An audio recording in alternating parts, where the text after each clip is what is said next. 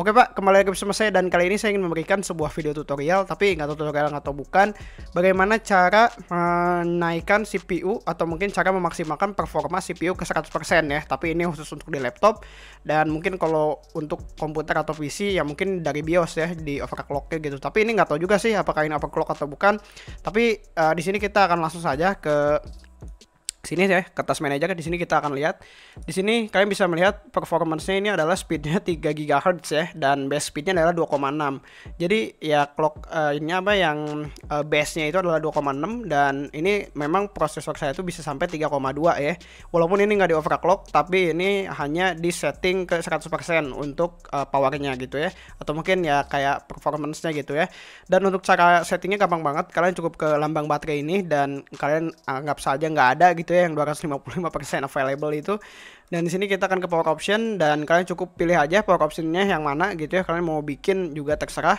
Tapi di sini kita akan ke change plan settings dan di sini kita akan change advanced power settings ya dan sini kalian cukup scroll down saja, kalian cari yang prosesor power management ya. Dan sini kalian cukup klik yang tambah dan kalian cari aja yang maksimum prosesor state ya. Ini kayaknya di semua laptop atau mungkin di semua Windows ya, sama kayak gini. Dan kalian cukup aja yang pluginnya atau saat dicasnya itu menjadi misalnya jadi 100% kalau misalnya mau gitu ya. Kalau misalnya kalian mau 85% biar nggak 100% ya terserah. Dan kalau misalnya on battery atau mungkin saat nggak dicas pengen 100% juga, kalian cukup ganti aja gitu ya. Dan kalian apply dan kalian oke okay, gitu.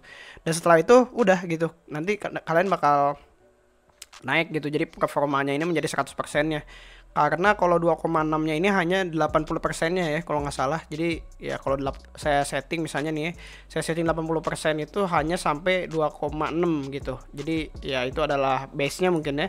Sini kita akan uh, mungkin ganti ke 80 apply 2, oke. okay bukan 80 berarti 90 ya. Coba 90 deh. Sini kita melihat nih 2,2 2,26 tapi kok 100 persennya langsung 3,2 ya? Langsung naik 1 GHz gitu. Coba 95 mungkin. Apply.